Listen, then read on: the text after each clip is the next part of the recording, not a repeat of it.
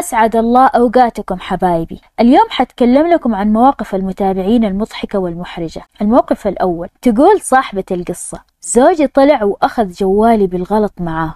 مو بس كذا طلع ماخذ جواله بعد. يوم استوعبت إني بدون جوال حسيت إني شوي وانجلط لأني مدمنة جوال بشكل يخوف مرة لدرجة إني بكيت شوي.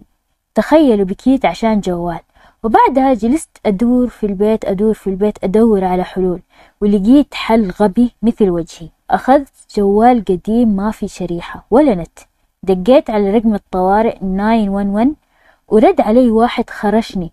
قلت له زوجي أخذ جوالي بالغلط عادي تدق عليه وتسكر عشان ينتبه إن اللي معاه جوالي. قال لي هل أنت في خطر ولا ما عندك أحد؟ إن خرجت زيادة ومرة خفت وقلت لا لا عادي خلاص شكرا وقفلت.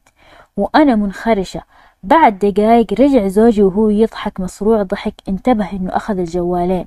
وأنا من الغباء علمته بسواد وجهي. والله يا جاني تهزيء يحب قلبكم بس استاهل ليه أعلمه بكل صغيرة وكبيرة؟ أنا انهرت يا صاحبة القصة. الله يسعدك زي ما ضحكتيني. القصة الثانية تقول صاحبة القصة أنا من الكويت. الموقف اللي صار لي وأنا كنت بأول متوسط وهذا الموقف صار بالترم الثاني. أول شيء كانت علينا حصة رياضيات وكنا ناخذ الحصة بذاك اليوم برا الفصل كان علينا اختبار بهذاك اليوم وبعد ما خلصنا وكل شيء الأبلة قعدت تصحح الأوراق وبدون ما تنتبه الأبلة طلعوا شلة النحس. مين ذولا شلة النحس؟ ذولا أربعة بنات اللي هم أم كشة وأبو علي والصرصور المنفوش وأم أربع عيون. حرفيا ذا هو لقبهم. لدرجة أكثر المدرسة نسوا أساميهم وقعدوا ينادونهم بلقبهم. المهم خلونا نكمل.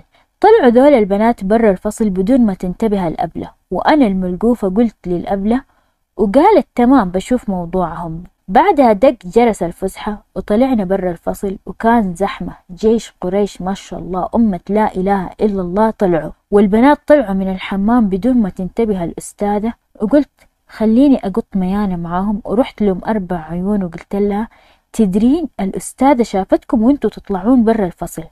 وشافتني وأنا شفتكم وشافتني وأنا شفتكم وأنتوا طالعين.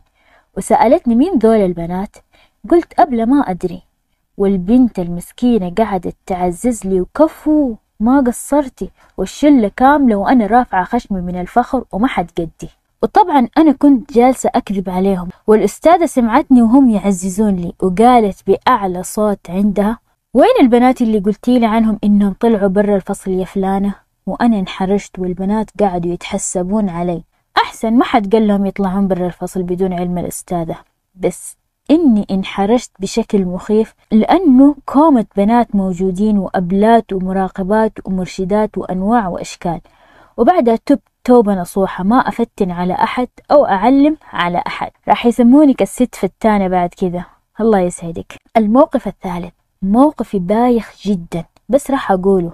أنا انتقلت لدولة أوروبية وكنت جديدة على ذي الدولة وما أعرف اللغة كويس. مرة بالمدرسة كان في واحد بيركض بالممر متحمس. وحالته حالة وأنا جالسة أمشي حالي حال نفسي. فجأة يضمني من وراي يبي يلطف الجو معاي لأن جديدة وكذا. أنا انفجعت ومن الخوف عملت له حركة جون سينا ما حسيت بنفسي إلا هو بالأرض ويتألم والكل قاعد يطالع فيني ومنصدم. مين ذي المتوحشة؟ مو بس كذا قمت أسبه بالعربي. حتى لما استوعبت الموقف وكنت أبي أعتذر قلتها بالعربي آسفة. هو لسه منصدم من ردة فعلي. ومو فاهم شيء المسكين. شفقت على نفسي وتفشلت ومن يومها يعاملني بخوف وخايف يلمسني حتى. المسكين رحمته والله جبتيله الرعب. الموقف الرابع. تقول صاحبة القصة أول فترة زواجي خرجنا من مطعم. قال لي نعدي نسلم على أهلي ونروح. قلت تمام وأبو زوجي تو خارج من الشاور وجاهز للنوم خلاص. قدموا لي عصير وبعدها دخل وجلس هو. أنا قمت أسلم عليه والعصير في يدي ما أدري ليش وينكب عليه من راسه لرجوله. شلون؟ ما أدري كيف. المهم جيت بكحلها عميتها. جيت بمسح إلا أكب كاسة موية قدامي وقتها من قوة الفشلة قعدت أصيح لين رجعنا البيت. وزوجي يهدي فيني بس من بعدها أبو زوجي حذر جدا. كل ما شاف شيء قدامي يحذرني خاف منك المسكين الموقف الخامس أيام ما كنت مخطوبة كنا حاضرين زواج وأم خطيبي وقتها حاضرة معانا الزواج. وأنا مستحية مرة طوال الليل ما أبي أرقص. ويحاولون فيني لين بالقوة قمت أرقص وأجيكم وأرقص وأرقص ذاك الرقص ومن الحماس. وأم خطيبي تقوم تشجع وتصفق وتحمس زيادة ومع الحماس راجع على ورا وأتحمس زيادة ويشوش راسي. وهوبا السماعة حقت المطربة وراي وما انتبهت لها. واتشقلب من فوقها وأتفشل قدام أم خطيبي وقدام كل المعازيم. ورجعت البيت أصيح الحماس اللي الله يحرمنا منه. الموقف السادس. تقول صاحبة القصة. كنا طالعين أنا وأختي من الحرم. قبل لا يخلصون التراويح نبي نلحق على الباص. وقتها كان العسكر متجمعين إيش كثرهم عشان التنظيم. وأختي تدعس عبايتها بقوة وتطيح على وجهها. من الفشلة سوت نفسها ميتة. وأنا أتسدح جنبها من الضحك وهي تهامس تقول لي بسوي نفسي عمية ومشيني للباصات وأنا أشاهق ضحك.